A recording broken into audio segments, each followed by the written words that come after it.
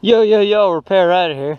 So, I get a lot of questions um, about my Enduro cross track. Here's kind of it, and around here.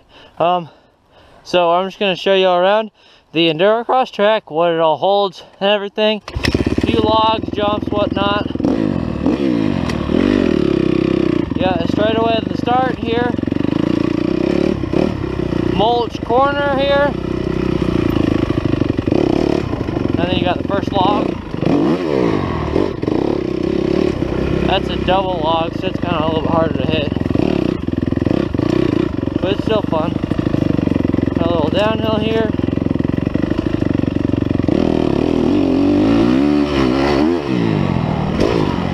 Nice double there.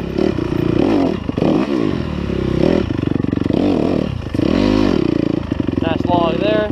Tight corner here. Again, more roots and whatnot.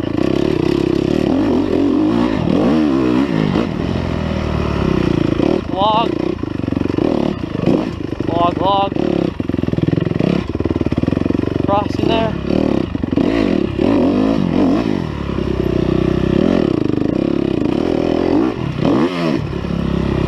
So yeah. And then we're back to the start right here.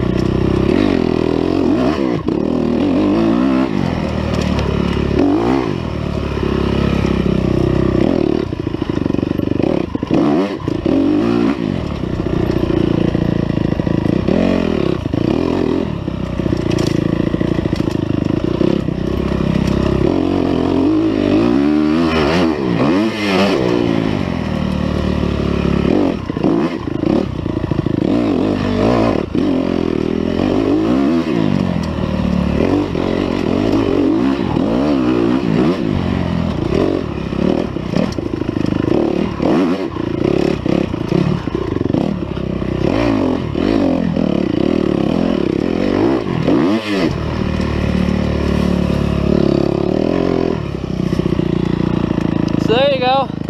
That's just a little couple laps on the track. Hope you enjoyed. Leave a like, subscribe. Talk to you later.